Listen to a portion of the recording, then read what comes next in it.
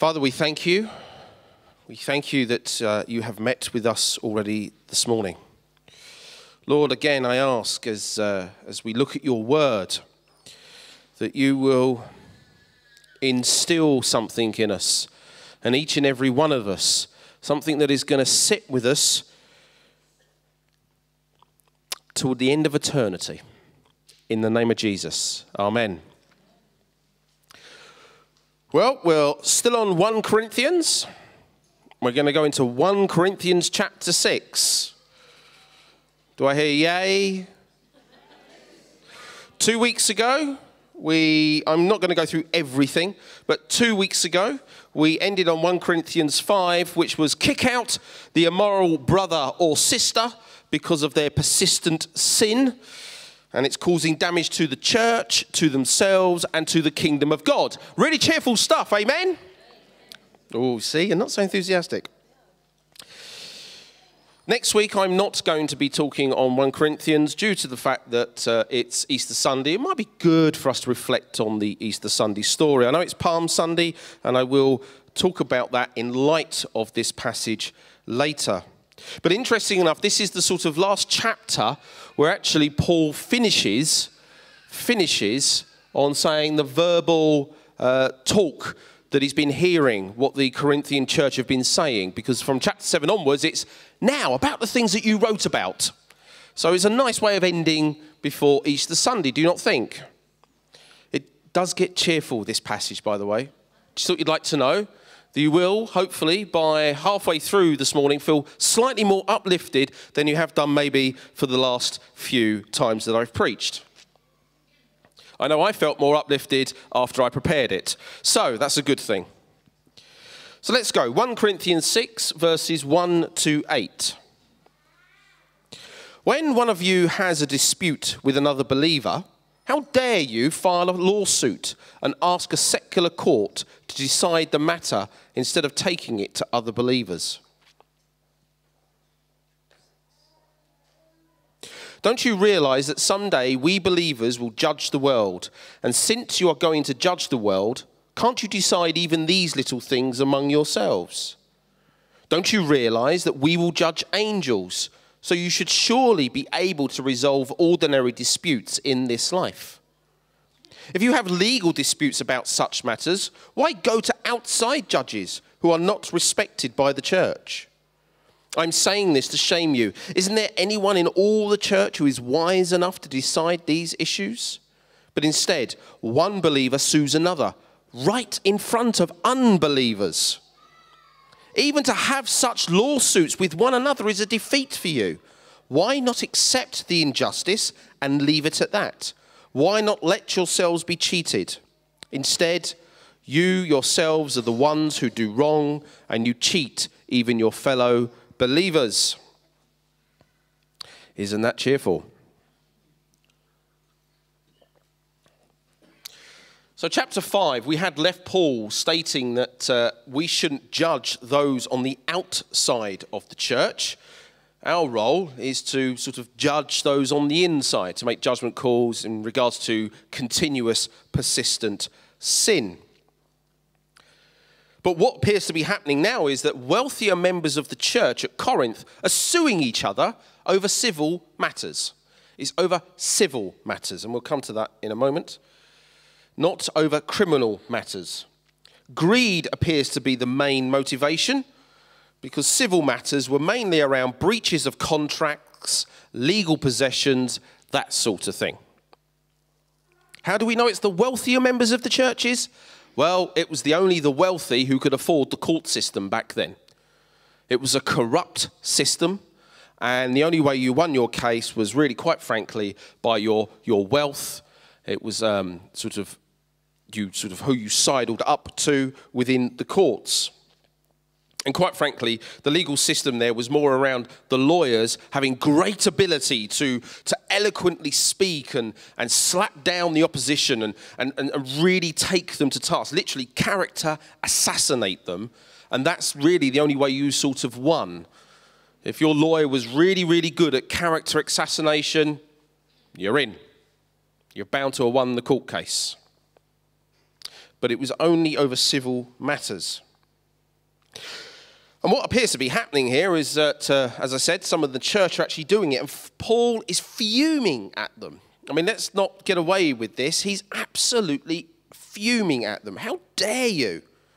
Because you're actually dishonoring the kingdom of God by what you are doing, let alone dishonoring each other.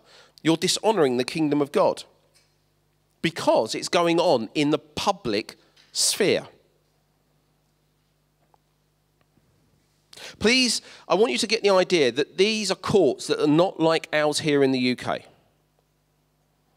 Okay, where really, quite frankly, you don't hear a lot about them unless it's some big juicy story that the press like to pick up on. Some are done behind the scenes, especially civil court cases. You're really not going to hear about those particularly unless you go onto the website and all you just see is between two people. But here, their court cases were done in the public market square. So the whole town knew what was going on and who was suing who. Isn't that good? Not. And if you think about it, in John 13, verse 34 to 35, Jesus commanded, Love one another as I have loved you. Your love for one another will prove that you are my disciples.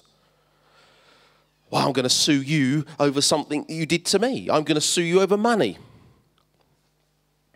It's going to go well, isn't it? That's showing love. So I can understand Paul's indignation.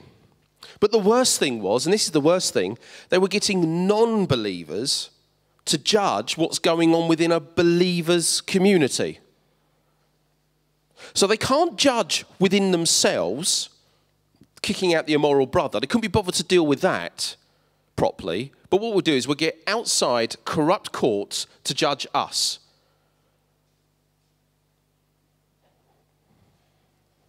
I just find that so strange.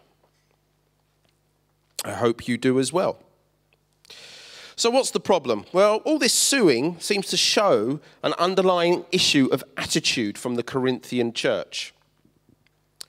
They are a proud, competitive, assertive people, aren't they, the Corinthians? Do you remember? Oh, demand their rights. They're absolutely concerned about their rights. And if they, they are very touchy if anyone infringed on their rights or their perceived rights, Anybody try to inhibit their freedom? Oh, they'll kick back. Doesn't happen, does it? Here today?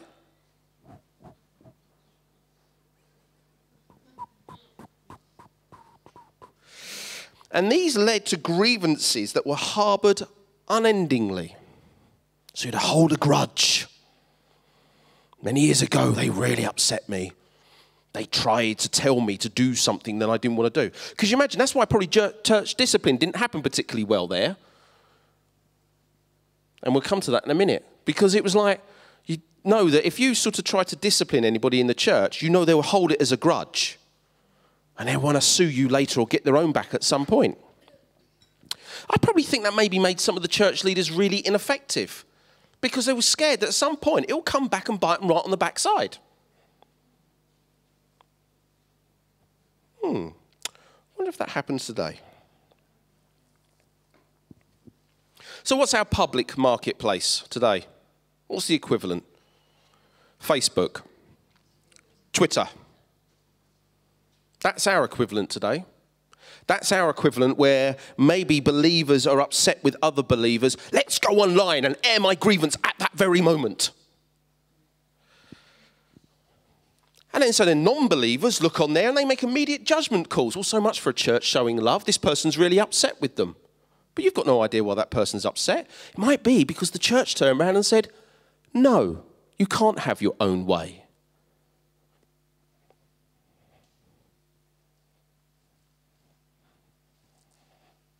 And the problem is for me, it's not about the church, it's actually about the kingdom of God that looks bad. It does down the kingdom of God when fellow believers are disputing publicly out in the open for the whole world to see. Probably nothing worse than maybe at work or in the pub or whatever, and you're a believer and you're sitting there moaning to a non believing work colleague or a non believing friend, and you're moaning about the church and how they've upset you.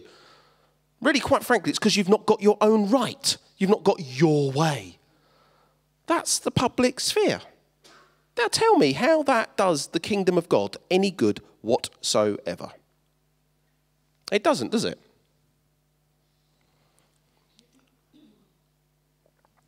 Well, those in the Corinthian church and those who are like this today are of that I only follow Christ bunch. You know, 1 Corinthians chapter 1, I follow Paul, I follow Cephas, I follow Apollos, and I follow Christ.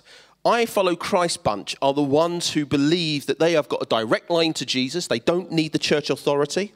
They don't need to be accountable to anyone. They're accountable to Jesus. And I only listen to Jesus and do what Jesus tells me. I never test it, I never ask anybody else, and I'm just going to do it. That's that group, yeah?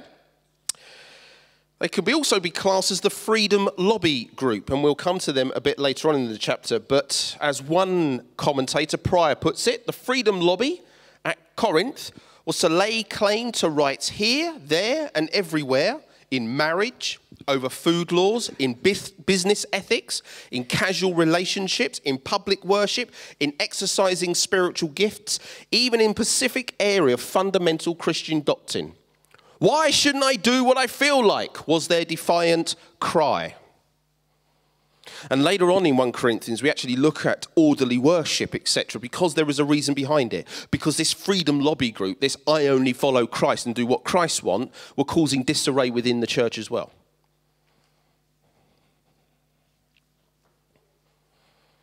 Very dangerous bunch.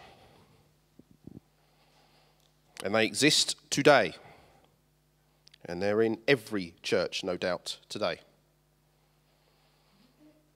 And what for Paul is incredulous is that we're, the church just hasn't got the bigger picture in sight. Do you, do you remember we talk about that Paul, when he's writing this, he's always referring to the Old Testament because he has a much bigger picture in view. He has sort of the kingdom of God constantly in view. And what he's having a go at him, saying, You are so concerned here about everyday things. You're concerned about your little world. You're not getting the bigger picture. The reason you're doing this suing is because you think you've got the right to, because you're worried about your little world. Again, disclaimer, I'm not having a go at British Gas, but the British Gas advert, the little planets, the little world, that's exactly our mentality. Mm, looking after your little world. Well, I hate to say this to ourselves, but we don't live on little worlds. We live on one great big one that's part of one great big universe, which is part of one great big creation plan. It's called the kingdom of God. We don't have little worlds. See, when you turn off your central heating in time for summer, and it is coming, you'll remember that moment. And Paul is saying here, he says, But you're going to judge fallen angels. And you can't even judge amongst yourselves. You haven't got the mind of Christ. If you can't judge between yourselves, how at the end of time are you going to judge fallen angels? Get the bigger picture, Corinth. It's not about you. Oh, I would love to have been there. I would love to have listened if he had a go at them, I'll tell you. Now, Paul is not talking about, let's make this clear, Paul is not talking about brushing things under the carpet. Remember, I said to you it's civil matters. And in years gone past, and maybe even today, churches has been able to use this passage as a sense of not taking criminal matters to court out in the public sphere. And that's why maybe people have got away with things in church life where they most certainly shouldn't have done. And it's not talking about that. And it's not talking about even brushing under something, being hurt, and not dealing with it. You still need to go and deal with it. Do you know, if you've been hurt, go and talk to the person who you think has hurt you. Quite clear in Matthew 18. Go and talk to them and listen to them because it could be your fault. Just thought I'd mention that.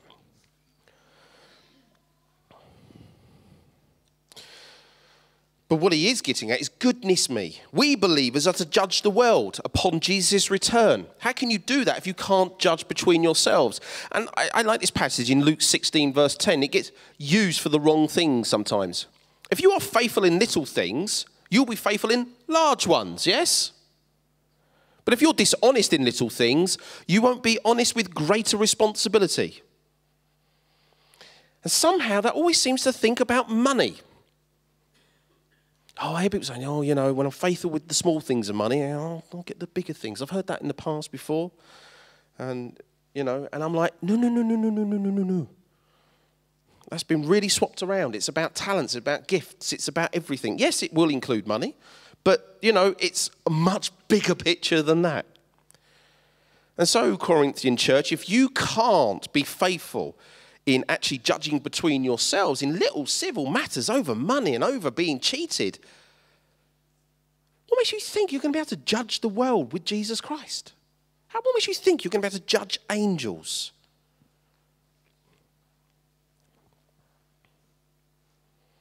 And for him, it's why not just accept the wrong done to you, shut up, move on, there's a bigger picture involved. Oh, we don't like those sorts of things, do we? But that's what he's getting at. Please remember that Paul, and we're going to come to something later on, and it's been said before, our anglicized Bible has been nicely softened. If you knew some of the real words that Paul was using, some of your ears would burn and you would shout heretic or something. And oh my life. But he used really vulgar language.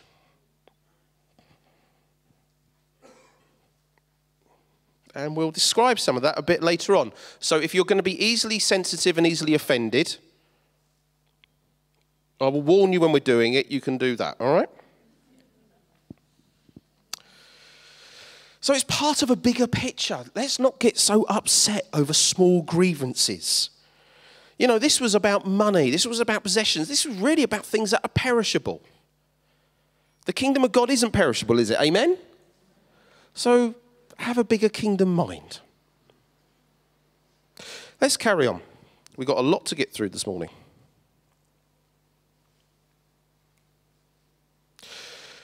Don't you realize that those who do wrong will not inherit the kingdom of God? Don't fool yourselves. Those who indulge in sexual sin, or who worship idols, or commit adultery, or are male prostitutes, or practice homosexuality, or are thieves, or greedy people, or drunkards, or are abusive, or cheat people, none of these will inherit the kingdom of God. There's a list of those who will not inherit the kingdom of God. And it seems a strange tack because in chapter 5, we have Paul dealing with a one person sexual sin problem. We then have Paul suddenly going on about not suing each other over civil matters. And then he seems to return back to sexual sin again. But it's not all that because we have other uh, sins in there with about drunkenness, abuse, cheating people. So he seems to be sort of doing a, like a wrap up here. And basically, he's dealing with the seriousness of church discipline.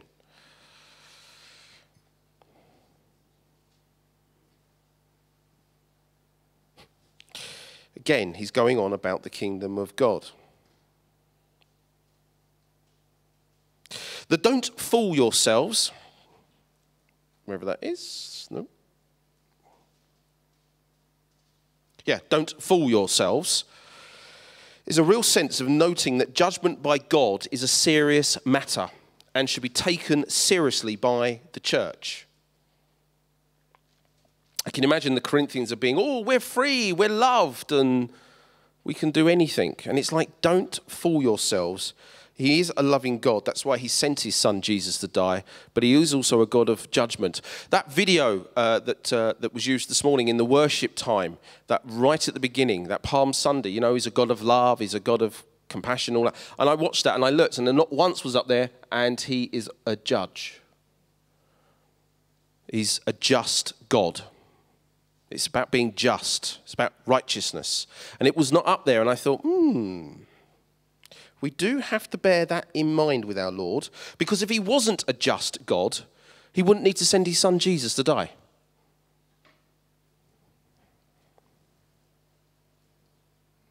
So, when it comes to matters of judgment being made within the church, both theological, doctrines, policies, and discipline, then the church best take that matter seriously and not fool itself into being light handed or hearted about the matter.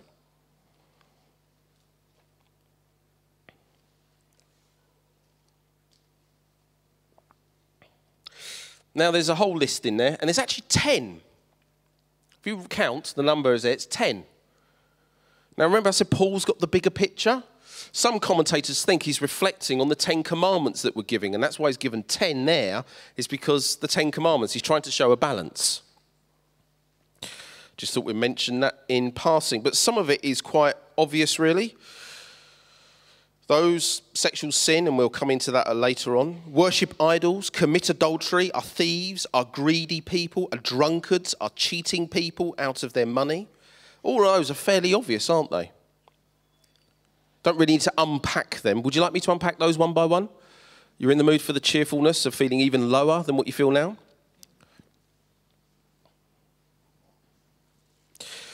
But I think the one that, um, given our culture today, given the last year of rule change, I just thought it might be interesting just to us to look at male prostitutes and what the NLT version quote as practice homosexuality. Two Greek words are used. Now, I'm going to try and pronounce them purely because one of them will make sense in a moment, okay? Malakoi and arsenokoiata. Where's Doug when you need him? And the last one, I will spell the first four words to you so you get the con- content A R S E, where we get our root word. Okay.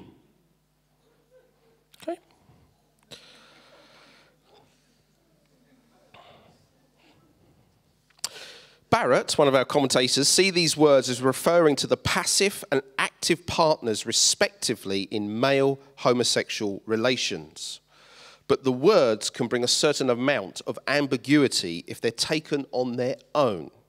Point is, Paul put them together. This is why we have the translations that we have. And I'll just quickly go through it. Malakoi was the basic meaning of soft, but it became a slang word referring to men who were very effeminate, most likely referring to younger, passive partner in a predator. Practice this predatorial relationship. That's what I'm going to say. Which actually, back then, was the most common form of homosexuality in the Greco Roman world. It was common practice for an older, wealthier, more powerful heterosexual man to have sex with younger men. This was not to say that the sexual tendency of the older man was homosexual, but actually the reason for this was more a display of his masculinity, his power. That was the culture of the time.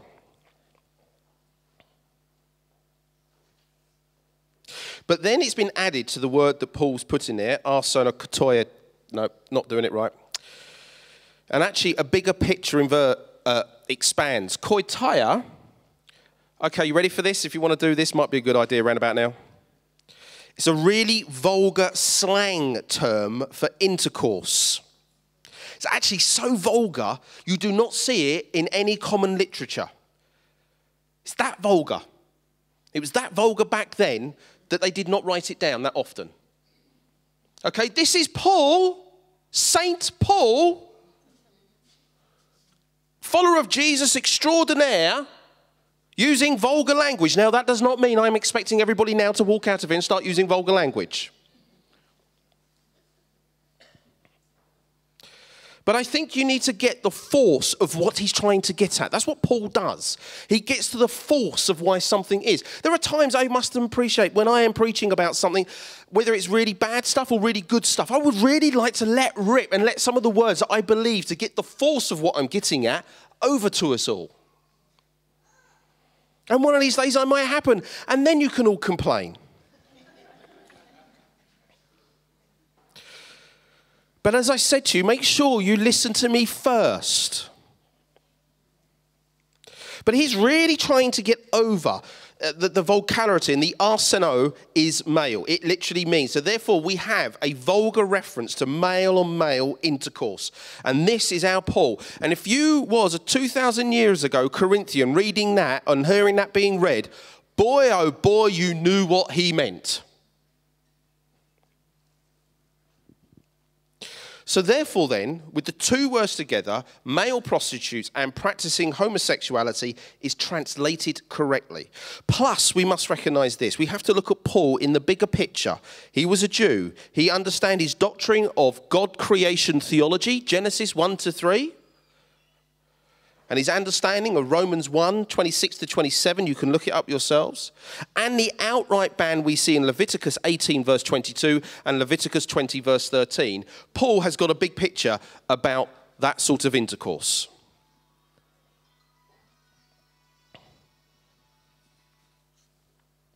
Thank you for the tune. I'm only joking, whoever that is. These things happen.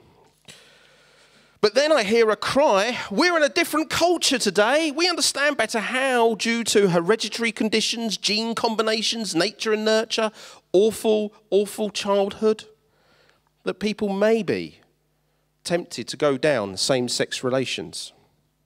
And I'm not denying any of that. But as Prior states, God knows the truth about these things far more precisely than any psychiatrist and any judgment he passes will be a just judgment. Yet, still it stands written, the unrighteous will not inherit the kingdom of God.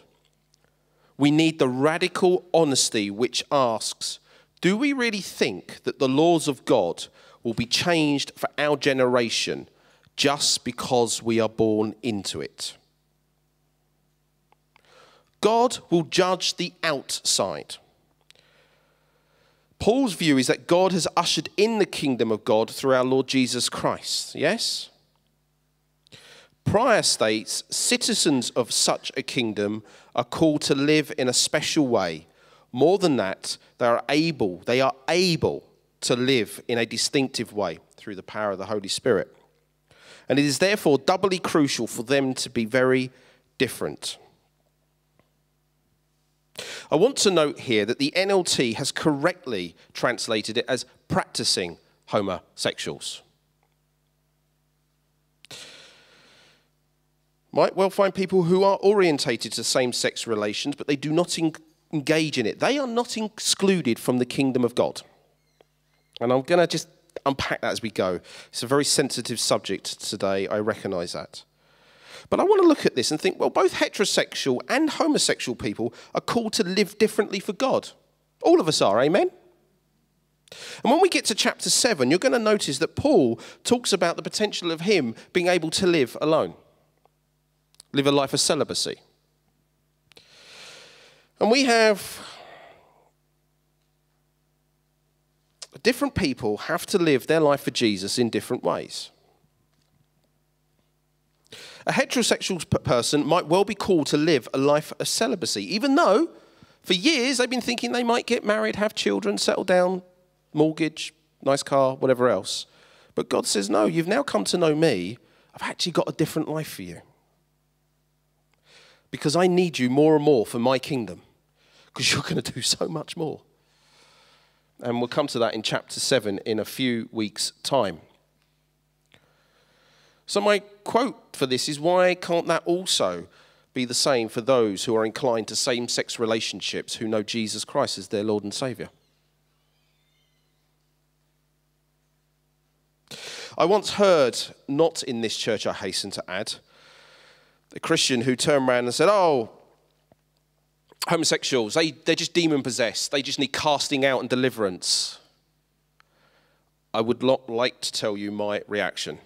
But let's put it this way I probably could have been considerably more vulgar towards them than Paul is now. That is just such, in my humble view, a medieval way of looking at that. Our role is to judge those on the inside.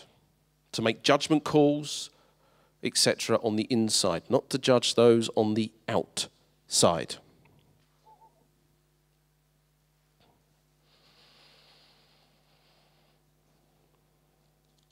And I know for many of us, this is a tough subject sometimes. We might have friends, family, and we question some of these things. And some people have said before now, ah, anybody, both male or female, of same sex relationships, you know, those who are inclined that way will never inherit the kingdom of God. And I'm like, where does it say that in the Bible? It's about practicing. I won't hang on that any more than that. If you've been upset by what I've said, please do come and see me later because you need to hear my heart as well. Paul goes on about inheritance here. The kingdom of God is about inheritance. None of these will inherit the kingdom of God. It is inheritance. Again, Paul's got a bigger picture in mind, the Old Testament view. Paul, as a good Jew, would be looking at the concept of entering the good land. You know, when Paul says, go, uh, sorry, God says, go take possession, giving you this land as an inheritance. It's that sort of picture that Paul has got. It's your right, it's your inheritance. Go get it. But you ever considered what inheritance is? When someone dies, they normally leave you a will, don't they? Or they leave a will, hopefully, that's bequeathed inheritance. You didn't earn that inheritance, did you?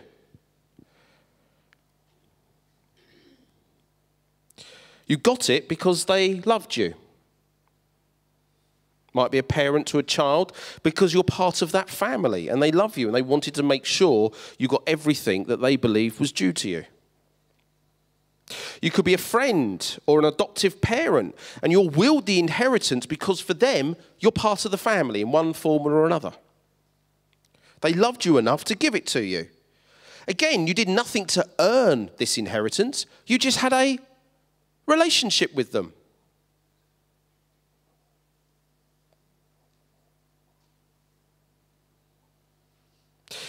Now, we also do get families that can exclude their family members from inheritance via the same will.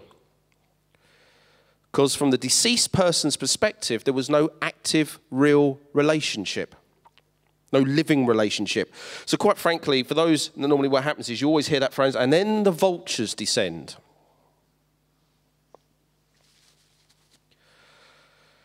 I think when I reflected on that, I sat here and I thought, yeah, God says, you've done nothing to earn it. You're inheriting it because I love you. And if we're reflecting next weekend on Easter and our God dying for us so that we can inherit his kingdom, it's all about the relationship. Amen?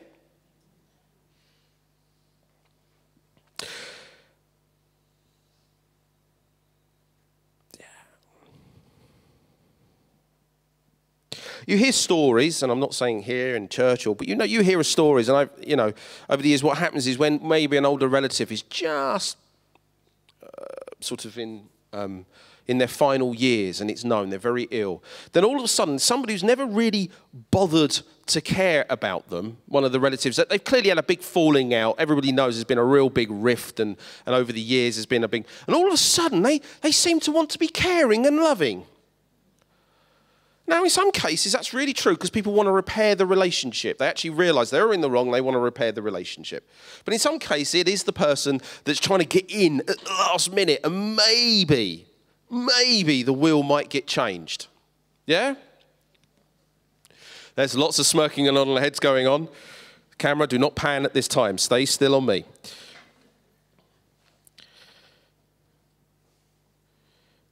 And some of us, I think, sometimes think that about God, that maybe I, will get in at the last minute. I, I, won't worry about it too much. I won't worry about my relationship with Him now. I'll get in at the last minute. Problem is, you don't know when the last minute's going to come.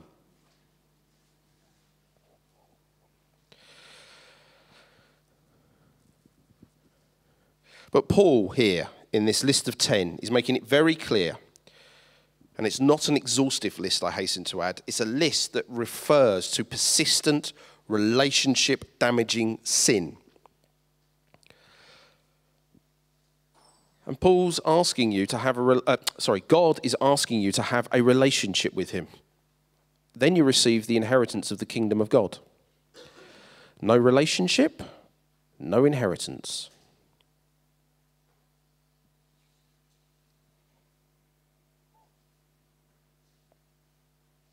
Now, before everybody starts running away saying, Oh, is my relationship good enough? Is my relationship good enough? We're going to come to that in a minute because that tends to be happening. Oh, I don't think I've phoned properly God enough today.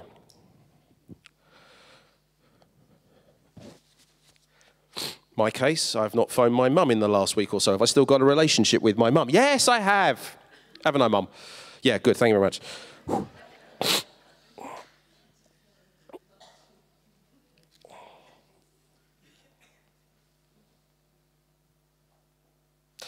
So, this list, which is really sounds oppressive, really sounds heavy, we then get this, verse 11. Some of you were once like that, but you were cleansed. You were made holy. Now, I'm taking the whole 10 list abusive, cheaters, greedy, the whole lot, okay? You were once like that, but you were cleansed. You were made holy. You were made right with God by calling on the name of the Lord Jesus Christ and by the Spirit of our God. This is where it gets cheerful, everyone. So pin your ears back because this means everybody in this room. Amen? If you have a relationship with our Lord Jesus Christ, and it means to you all at home that are watching this as well. So start listening clearly. It says you were once like that. This is a past tense, the aorist tense, meaning done once and for all. That were in English, which feels like were or, but you can pick it up again. Yeah? It's not. It's done once and for all. It's that sort of word. You were cleansed.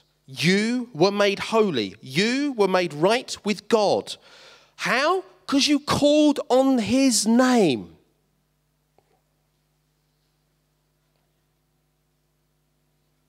Has a real baptismal ringtone about it. It talks about here lives that are transformed. You with me so far? Identities have been transformed. When you call on the name of our Lord Jesus Christ, your identity is changed. Amen? All right, I know we've just had the first half an hour really, really low, but I want us to really pick this up and understand this. Your identity has been transformed. Amen? The label of cheater, adulteress, thief, sexually immoral have been replaced by son or daughter of the living God. Oh, come on. Amen. Yes? You have been transformed. When you breathe in the fact that you are a child of the living God, you realize that you are no longer once what you were. Amen? So the label of that list, or whatever label you stuck on yourself all those years ago, you took on in your life, once you've called on the name Lord Jesus Christ, once you've made that call to Him, Come, be my Lord and Savior. Come into my life. Done, once and for all. You're transformed. Your identity's changed. You're now a child of living God. That's it. End of story. There's no mucking about. The same goes for you at home. No mucking about. The problem is, what happens is that the sticker that we had on when prior to coming to Christ, some of us still stick that on when we wake up in the morning. We pick up those old labels, touch it on. Yeah, I like that badge there. That's what I was. I'll hang on to that, thank you. That makes me feel bad. But the label that God sticks on you is my child. Transformed. No longer that lot.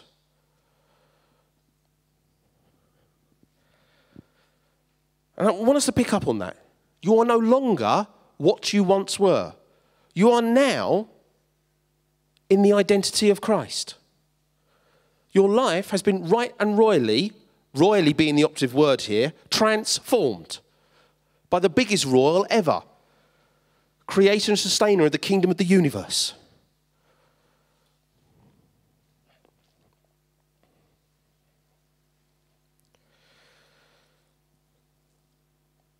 If you sit there honestly just for a minute, what tag, what label did you put on yourself when you woke up this morning? When you walked out of your front door?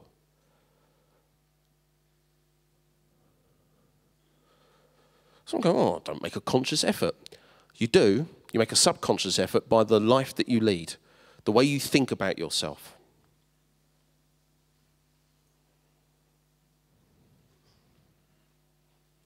Each of us are meant to wake up every morning and not put a sticker on us, we just let God do it.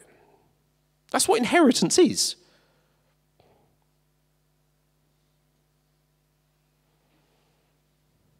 I'm quite excited by it. Hope you are as well. Everybody's heads down. Is it that bad? But you should be excited by this. And Prior says to have and to be controlled by such Christ centered convictions, both about the future and about the past, is essential to a healthy body life in the local church and to the individual believer's own spiritual health. When you recognize that you are child of living God, you will forget your past and you will look to your future with A, a much bigger view, and with much more hope.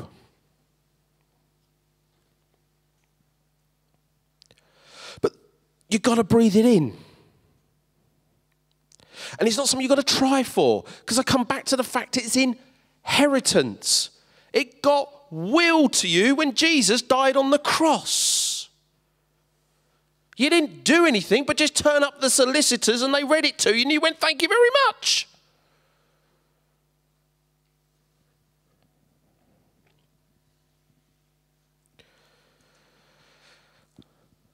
We are free from every label the world wants to stick on you and what you want to stick on yourself.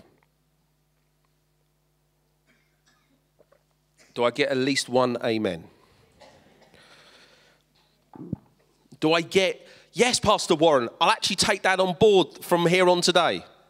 As naturally as I breathe in air, can you breathe in? Excellent. Some of us might be a bit easier for us because we've got colds. But if you can breathe in, that's the label that God stuck on you. If you have a relationship, if you've accepted Him as your Lord and Savior.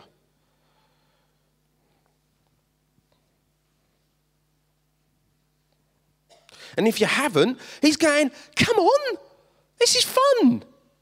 This is the kingdom of God. I've got one more place on the wheel. Do you know why? Because it's an endless parchment. I've got plenty of blanks, and boy, do I want them filled. And it's signed at the end, isn't it? Do you know what it's signed? Jesus Christ, and it's red. Which means none of us did anything to earn it. Ooh, I really don't want to go into the next passage, but oh, but we've got to. Ah. The problem was in Corinth that this freedom label got taken far too far.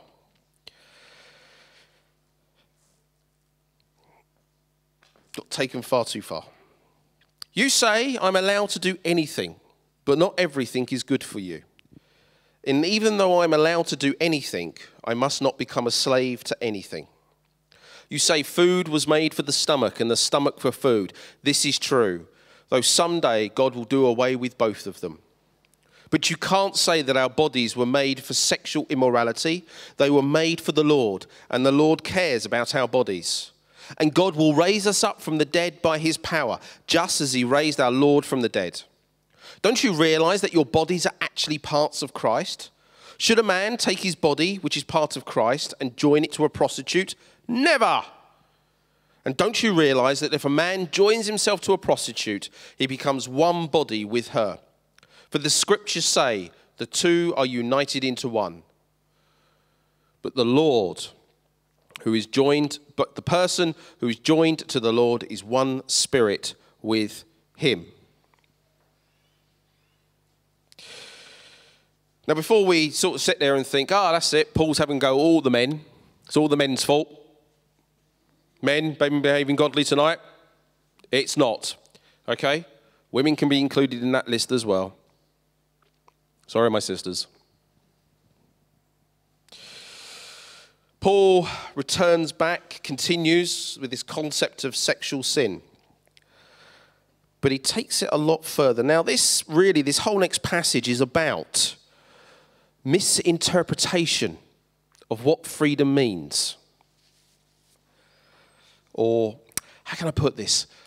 Taking something that's a world cultural view, taking something that's a good thing from the Bible, and then making up your own rules. And we'll come to that. Firstly, Greek culture understanding was the physical, i.e., your bodies, each of our bodies were evil. You're a walking tomb trapping in the divine spirit. And the only time that your divine spirit is released is when your body dies. So your physical form is evil. Not much cop, all right? Now, you might be like me, sometimes wake up, look in the mirror, and go, Yeah, really don't like it. Sure, it could be evil.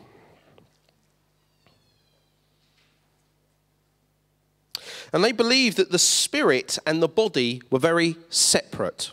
Together, but actually very separate. The spirit wasn't affected by anything that was done to or with the body. You with me so far? And clearly, this pagan understanding had infiltrated the church. Well, it would do, because it was made up of people who came from that culture.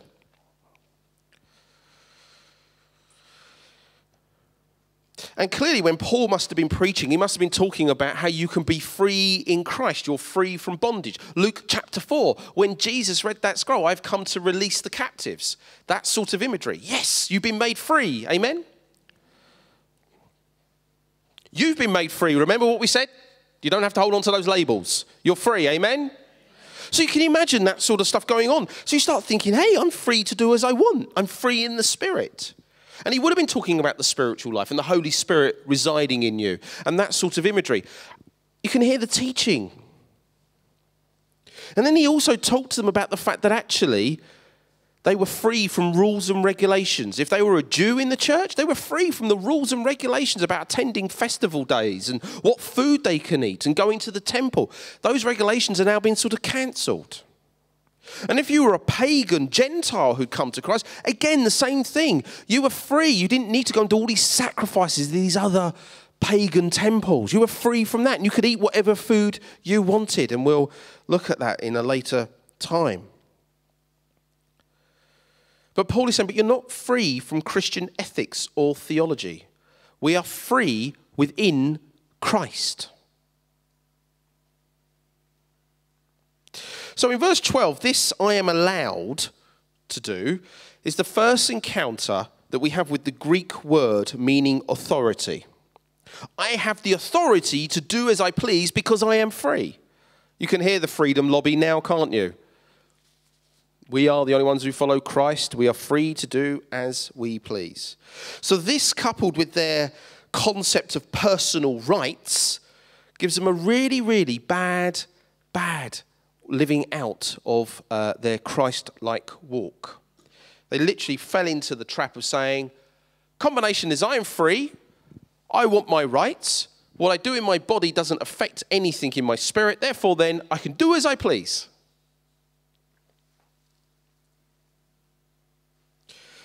One of the other commentators, Fee, says, being people of the Spirit, they imply has moved them to a higher plane the realm of the Spirit, where they are unaffected by the behavior that has merely to do with the body. But Paul is now going to state that freedom in Christ, we have is actually free to benefit the other, not to benefit ourselves. The freedom you have is to benefit the other, not to benefit you. Truly, Christian conduct is not predicated.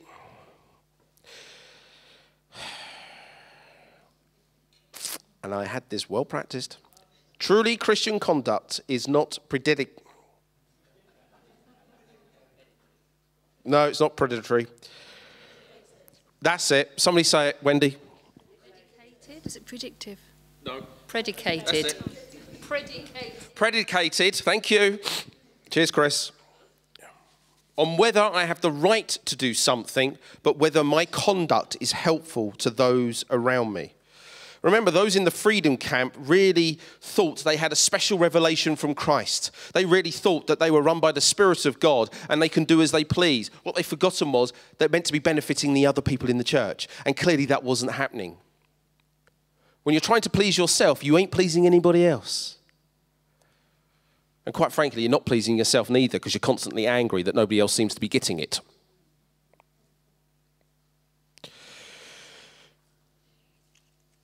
Paul is saying, yes, we're free, but we're free, but we're not slaves to anything. Not everything is beneficial.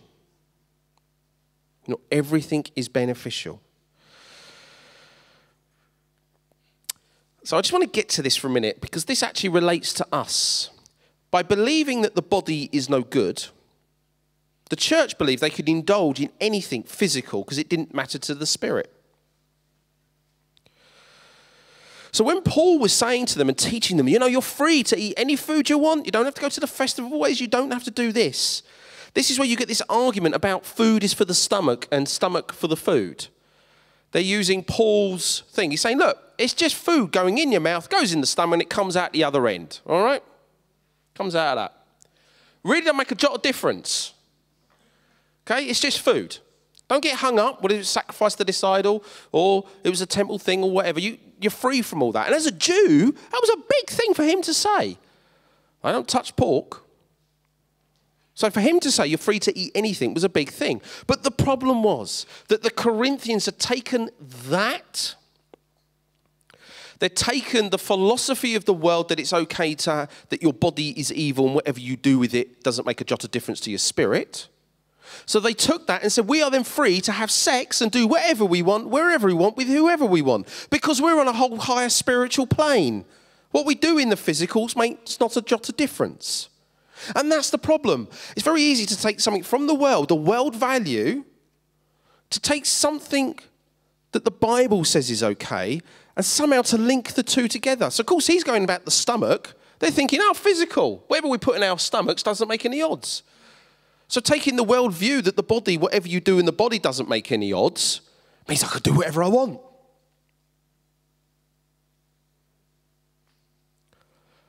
We're free to do anything. Paul's saying, nope. And I think he was saying no a lot more than that. And we do the same in the 21st century. I'm sorry, my brothers and sisters. Sometimes we're not even aware that we are doing it. But we do the same. And I would humbly suggest we have done the same recently. Not we in Greenford Baptist Church.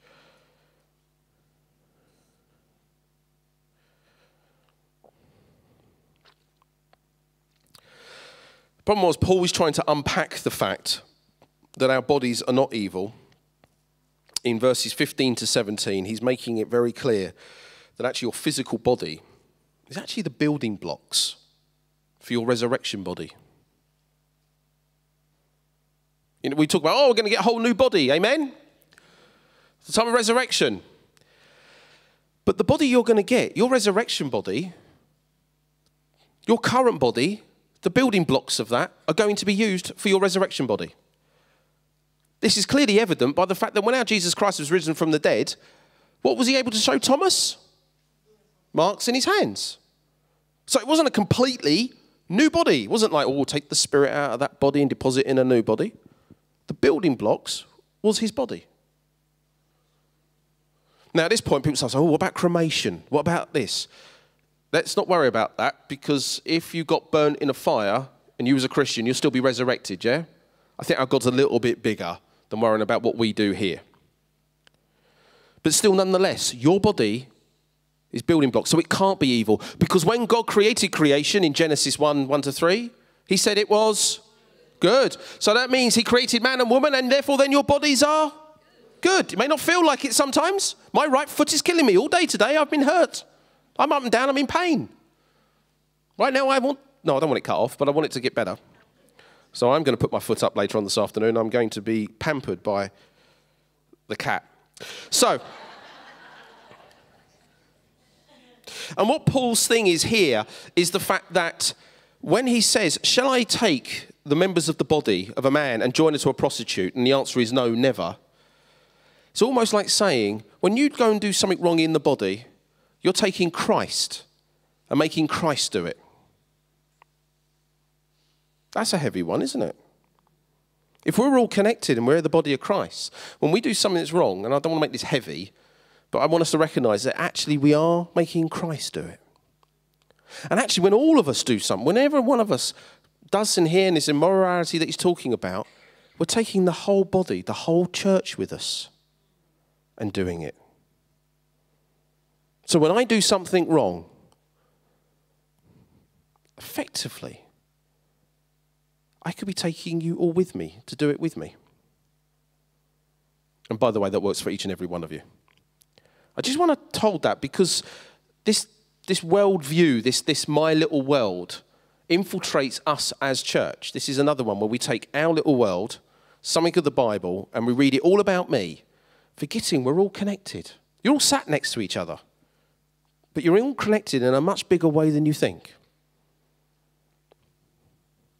So when Paul, right from chapter 5 through to here, is talking about kicking out the immoral brother and sister out the temple, the cleansing of the church, there's a reason. Because it's portraying the kingdom of God. Don't you realize that your body is the temple of the Holy Spirit who lives in you and was given to you by God? You do not belong to yourself for God bought you with a high price, so you must honor God with your body.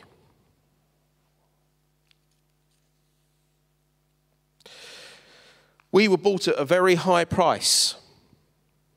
We're going to reflect on that next weekend, aren't we? Yeah?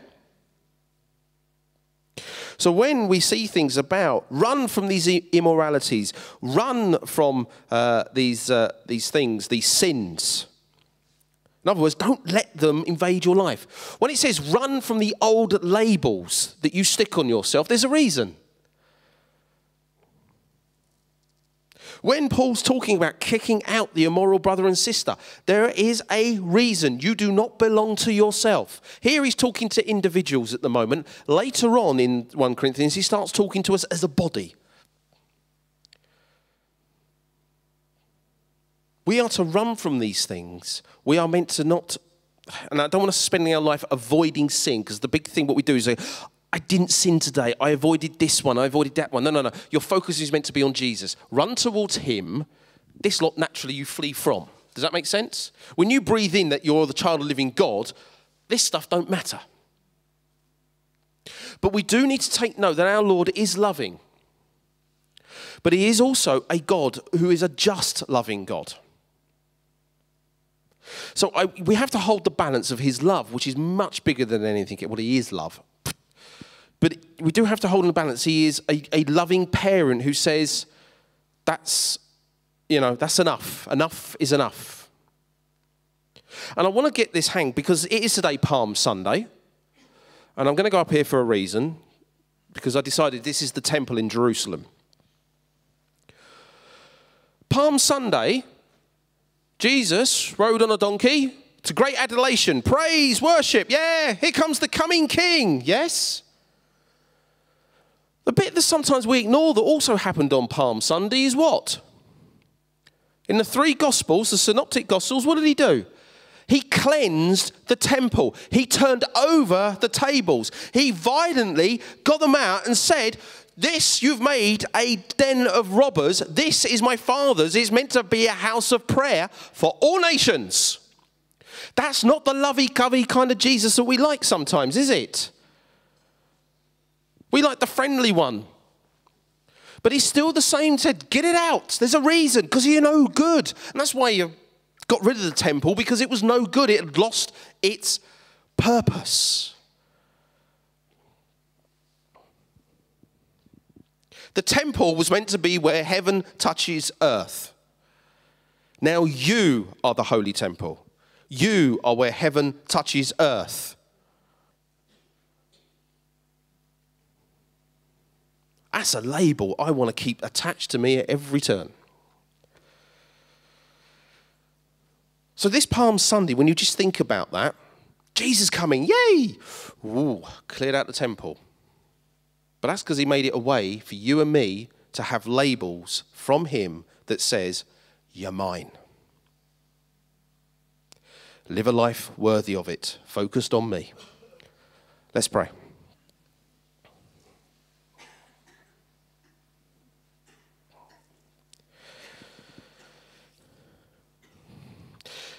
I want you just for a moment to consciously say to God, Yeah, I breathe in the label you are sticking on me as your child. Your identity is not in what you do, it is in who you are in Him.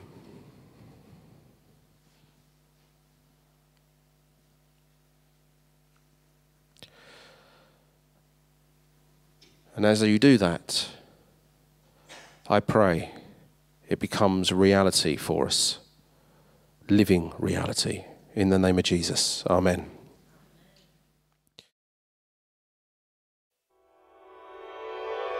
We do hope you've enjoyed and benefited from this presentation. To learn more about what the Bible teaches us and how to apply this to our everyday lives, check out our biblical teaching videos at gbcweb.tv.